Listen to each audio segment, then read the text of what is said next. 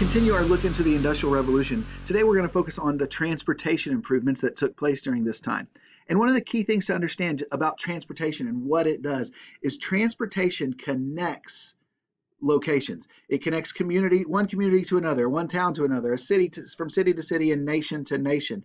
The more efficient the transportation, the quicker the transportation, the tighter those connections can be. And often, and usually, and initially, those connections are often economic. So that you have, for example, the plantation is connected to the factory in New England. the southern plantation is connected to the factory in New England through transportation because the plantation creates the cotton. The factory in New England manufactures that into textiles, into cloth and, and, and useful items for for people. And so there's a connection therefore between these to the factory and the plantation between those two communities. And those connections can help to bind them together because they have similar economic interests.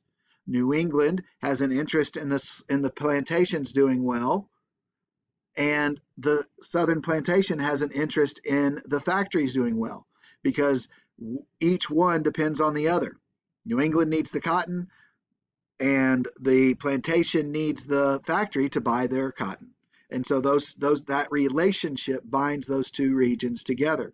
Um, and so we see that, and that's this is still true today. When you have uh, improved transportation between a location, you will see improved movement between people and ideas and goods and goods between those two locations. Um, not not in every case immediately, but uh, often that is what follows, uh, at least over time, and sometimes quite rapidly.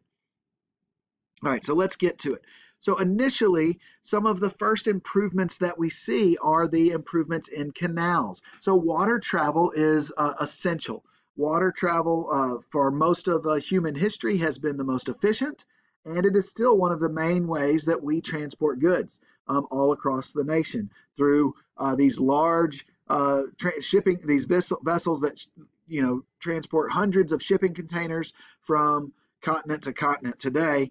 Um, this was still the, this was the way of transportation uh, in the 1800s, 1700s as well. And so, uh, but the thing about water transportation is, for the most part, you can only transport water where you've got a waterway. You don't have man a lot of man-made waterways. Because it's just so difficult. But in the early 1800s, we start to have a boom in man made waterways. We call these man made waterways canals.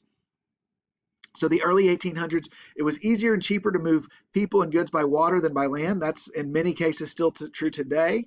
Um, the Erie Canal is is a man-made river that connects Lake Erie right here to uh, the to New York City, and really it goes. So this is the canal part and this is roughly where the canal is. It actually should be a little lower because Lake Erie's right here, but you get the idea. Um, and so here, Lake connects right across here to the Hudson River. And then this line here, it's kind of represented by this blue line, is the Hudson River down to New York City. So the canal is just this part. And really it's from about right here across the across here down to the down the Hudson River to New York. And so what you have is you have a connecting of the Great Lakes to New York City. Uh, the one of the largest, and this kind of really enforces reinforces that New York City becomes uh, such a, a, important port in the United States, uh, largely in part because of the Erie Canal, because now all of these areas that are connected to the Great Lakes, they don't have to get to the Ohio River or the Mississippi River. They can get to the Great Lakes, and now they are connected by water to the rest of the coast of the United States and the rest of the world across the Erie Canal, they, thus bypassing the barrier of the Appalachian Mountains. And so we see that the, this canal is going to have a huge impact on the economic prosperity of this territory that was the Northwest Territory and is becoming different states. So we see Kentucky and uh, uh, you know, this is the Indiana territory. It's going to be divided up into Michigan and Wisconsin. Ohio territory um, is going, the Ohio, uh, the state of Ohio will um, greatly be benefited by the Erie Canal, and certainly Pennsylvania and New York as well. And so we see that uh, this connection is going to be really important and it makes uh, economic activity um, that much better. Other advancements. So one is just the advancement of being able to dig these canals. This is a huge undertaking, so having the mechanism, the machinery to actually dig those canals is really important.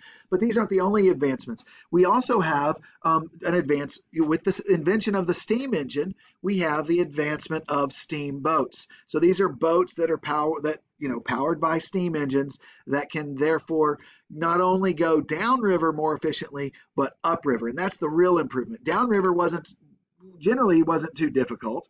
Uh, this certainly will speed that along and make it more efficient. But the upriver, the return route was always very difficult, and now that is no longer so difficult. Um, steamboats uh, can go upriver very efficiently and easily, uh, and so this is going to improve river travel and canal travel, but primarily river travel um, for the next uh, several uh, decades. Uh, the steam, uh, so uh, the steamboat, along with canals. Now, the, there's also improvements to roads, uh, and we have like the national road, and then we're going to talk about railroads next. And all of these things make it eh, easier to move goods. And as we talked about before, this connects the nation. Uh, one that one that is not exactly a transportation uh, improvement, but is a allows for rapid communication is the telegraph. And so the telegraph is going to change things instantly. So you can get once you set up the system of the telegraph line. Once you get a line from one location to another, you can now communicate almost instantly uh, through Morse code. And so the telegraph is going to rapidly change it's going the way information is transmitted. Uh, it just takes a matter of setting up that infrastructure of the telegraph lines. And so one of the things that you'll see as we get to the railroads next, all along where we have railroads, we will also set up telegraph lines in many cases to because you're already having to clear a space for the railroad. Now you can set up the telegraph line and you can communicate from one city to another very easily. And so the railroad, though, is going to be a huge change because we are now no longer, transportation is no longer dependent on water travel across a continent you can once you can set up and just think about it river travel is still great but it's only good where you have rivers. Now you are no longer bound by the natural uh, the the natural resources that are there. You're no longer bound by by nature in a sense in that you have to have a river there. Well canals change that a little bit but think about the difference in creating a canal versus creating a railroad. For a canal you've got to dig basically a ditch big enough for, for ships to travel across. And that's very difficult. Now, a railroad, what do you have to do? You simply have to lay tracks. Now, you've got to get it flat enough surface to where the railroad can can operate and you've got to make it, you know, you've got to set those tracks in place, but that is much easier than building a canal with a lock system. And so railroads are going to transform the nation and the world ultimately because you can you are no longer dependent upon the the the placement of rivers and where those are. You can transport goods huge quantities of goods over great distances as soon as you've built the infrastructure. And one of the big change, one of the big events, really um, from the 1830s on through 1860s, is the creation of railroads all across the nation. And it continues after the 1860s, certainly, but kind of one of the the big points in the 1860s is uh, that we actually connect from coast to coast.